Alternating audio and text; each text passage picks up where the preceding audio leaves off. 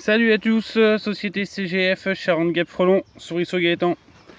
Alors, petit truc spécial qui m'arrive aujourd'hui, je pars pour une destruction de guêpes. J'arrive sur place, c'est pas des guêpes, c'est des frelons. Des bourdons, excusez-moi. Euh, des petits bourdons. Donc, euh, ces petites bêtes sont comme les abeilles, ça pollinise, donc on évite la destruction. Du coup, j'ai pu récupérer le nid avec tous ses congénères. Et puis là, je vais le placer dans un bois, auprès d'un arbre, sous une souche. Il y a un petit trou que j'ai creusé. Je vais mettre le nid dedans.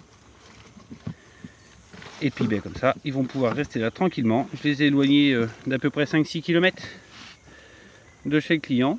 Donc ils vont pouvoir vivre une petite vie tranquille ici. Et au passage, je vais vous faire voir ce petit nid. Donc voici le nid. Voilà comment il fait un nid de bourdon. En fait, c'est des petites opercules, vous allez voir. Hop là, voilà. Un nid de bourdon, c'est fait comme ça. Donc c'est des petites coupoles. Où en fait, ils stockent et à manger, et leur chambre, ils font tout avec.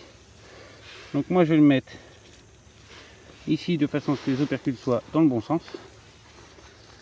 Hop là, voilà. On va tout remettre ensemble. Voilà. Va essayer de ne pas mettre la laine de verre dans le nid, ça serait bien.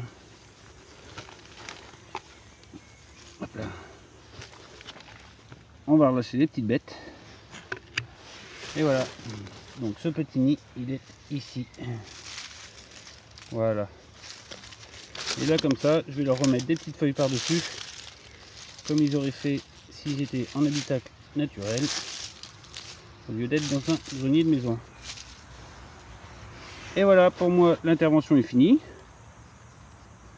Les petits frelons sont tranquilles, ils vont être dans leur nid.